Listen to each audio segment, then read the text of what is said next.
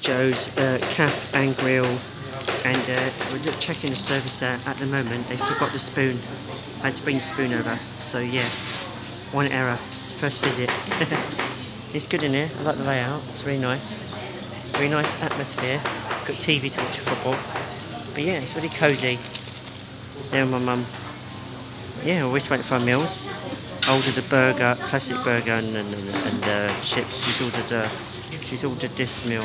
Wait, this one here. The, the menu's quite interesting actually. I feel like quite a lot to see. There's so much to see actually. Like the choices.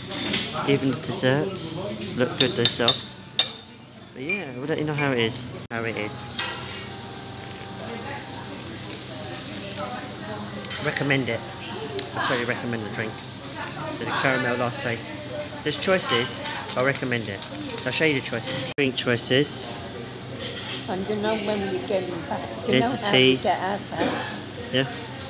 Go, go to the far end of the train. Here's the lattes. You can get the chocolate, the chocolate, the hazelnut, the vanilla, the pistachio, pistachio, caramel, and the amaretto. So the choices are quite. It's the medium, so you can't go wrong with that. But yeah, these are the choices. You've got your basic teas, coffees as well, basic ones. And you've got the hot chocolates as well. And they can add ice cream and marshmallows to your hot chocolate, so that's interesting. Yeah, fruit coolers. There's so much choice.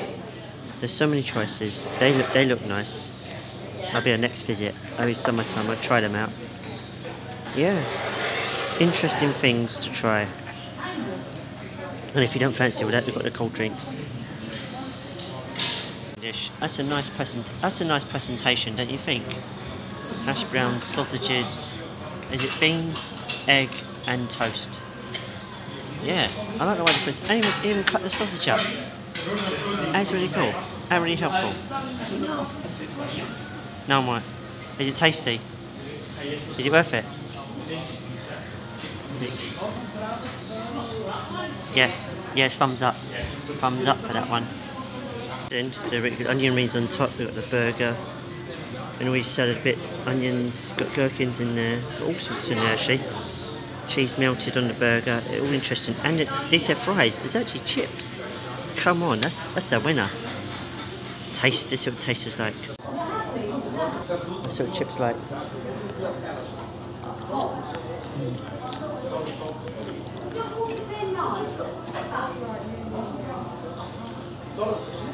Enjoying that.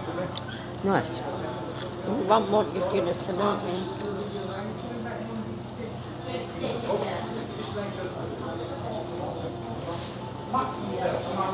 Onion on that burger. Got the burger, hash browns, the onions, the cheese, the lettuce, tomatoes, cucumbers, gherkins. It's got everything in it, and it's worth it.